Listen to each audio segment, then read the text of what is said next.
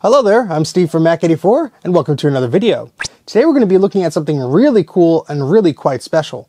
My good friend Sean from the Action Retro YouTube channel, you probably have heard of him, has sent me something to take a look at. Unfortunately, he got a super cool upgrade for one of his computers and it just was dead on arrival. Now, he knew going in that it was as is and untested, but he really hoped he could get it to work. So Sean and I got to talking, and I said, well, you know what, why don't you send that to me, because I'll be able to take a look at it under the microscope and see if I find anything that could be causing any problems. So he did just that, and he sent this along. So let's open this box and see what he sent.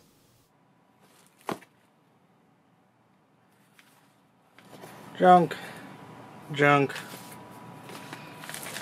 more capacitors. Action Retro.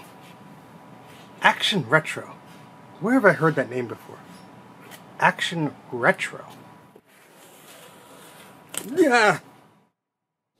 All right, so let's take a look at what Sean has sent me. I think you'll find it's really cool. This is a Daystar Digital PowerPC 601 100 megahertz upgrade card for 68K Macintosh computers. Very, very cool. Now, unfortunately, Sean got this for a good price. He still paid a lot for it, but it didn't work. So that was very, very frustrating. So that's why he sent it to me to take a look at. Now, if you know anything about old Macs, you likely know about Daystar. Daystar Digital made a lot of very cool upgrades and accelerators for Macintosh computers, and some of those cards can still command a high price today. Now the first thing I noticed when I pulled this card out of the box because the heatsink was separated from it was that I saw bent pins on the corner of this processor. So clearly whoever removed this card from an older computer or whatever the case was, they managed to bend those pins, which is a little mind-boggling because this heatsink actually protects that area and you can't really touch the pins on, unless you took this off weirdly or whatever. So I saw that immediately and I thought, hmm, maybe that's a problem here. Maybe it's just some simple bent pins and maybe that's the issue that is causing this processor card to not want to work correctly. So when I looked at this thing under the microscope, I noticed those bent pins weren't really adhering to the solder.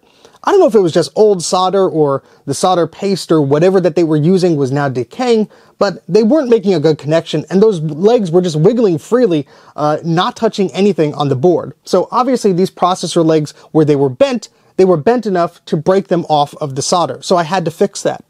So I looked at this under the microscope and I noticed that it was a little bit worse than I was expecting. Some of the pins next to those legs weren't connected either, but it was all in that same corner, so I thought the, the damage here was isolated to that area.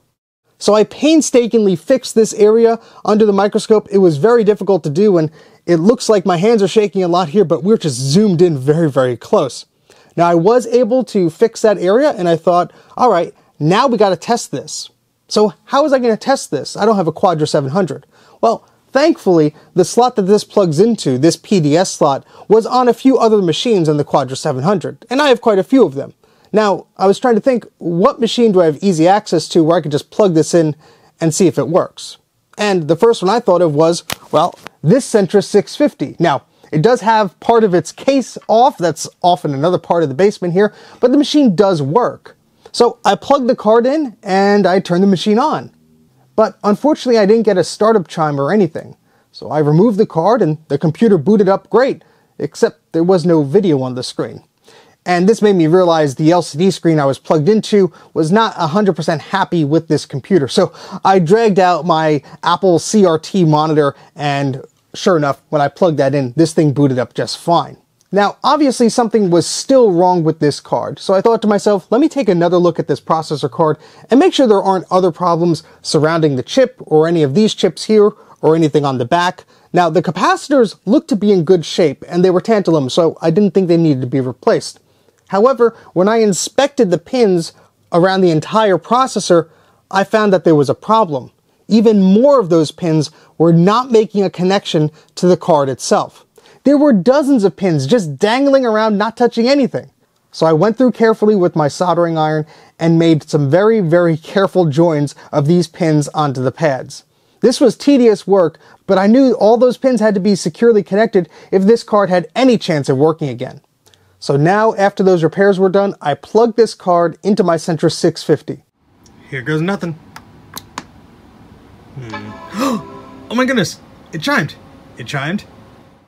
And it chimed. Well, sort of. So we got into the Mac OS and I ran some software and it still detected that this PowerPC card was not active. So I was like, what's the case with this? What's going on? So apparently you need software. However, it's not as simple as just installing drivers. Well, at least not just yet.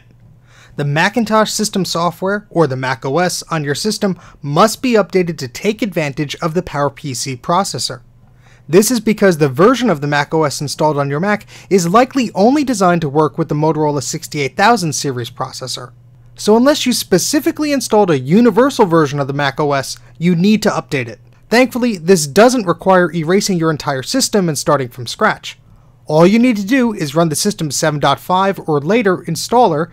In this example, we're using System 7.6. From the installer, you select the Custom Install option. Then select the option System for any Macintosh or Universal System. This will ensure that both 68K and PowerPC components will be installed on your computer's hard drive. Then select Install, and your Macintosh will be updated with the appropriate software. Once you've done that, now you're ready to install the drivers for the Daystar PowerPC upgrade card. So this is a Daystar Power Pro 601. So I found the appropriate drivers for this, and I was able to install them and there's a toggle on the control panel that enables or disables this card. So I thought, ah, that's the key. So I switched it to PowerPC mode and I restarted the system. And nothing. The machine rebooted and it was still not detecting this card. So I'm scratching my head there and I thought, well, what could be going on with this thing? Let me take another look. Uh, maybe it's not seated properly. So I shut down the machine, I unplugged the card, and I plugged it back in. And then I turned it on, and I heard a very different startup chime. That's right, the PowerPC card was now starting up. So it turns out that I just didn't understand the control panel. It actually clearly says that you have to shut down the machine, not restart it, in order for the changes that you set in that control panel to take effect. So I was switching from the 68K processor on board of the Centris to the PowerPC one here, and a simple restart didn't do it. I had to shut down the machine, per the instructions, and boot it up. And from then on, it worked great. I heard that classic Power Macintosh upgrade startup sound, and I was very happy to see this thing actually work again. So I ran some benchmark tests and surprise, surprise, this thing was much, much faster than the built-in 25 MHz 68K processor in this Centris 650.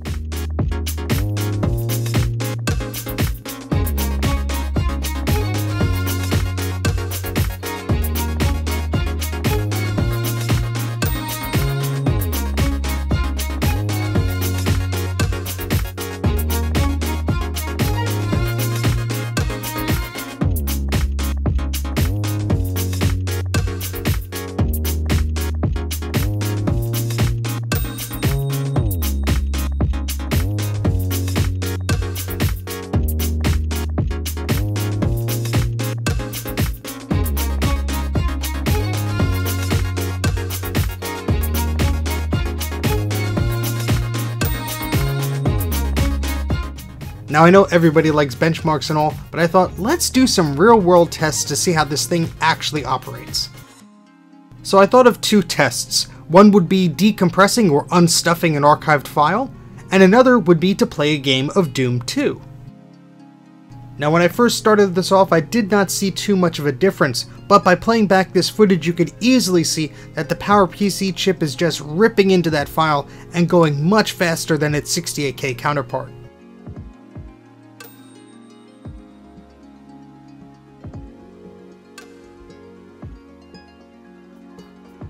I picked Doom 2 because it's both a 68K and PowerPC aware application.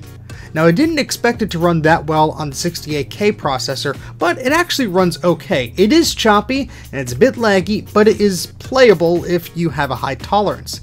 Now of course using the PowerPC processor, things are much, much smoother. It's very responsive, you get a better feel for it, and although I'm not the best at this game, as you can clearly see here, it was a lot of fun to play, and the PowerPC chip just makes it much easier to do it on this particular machine.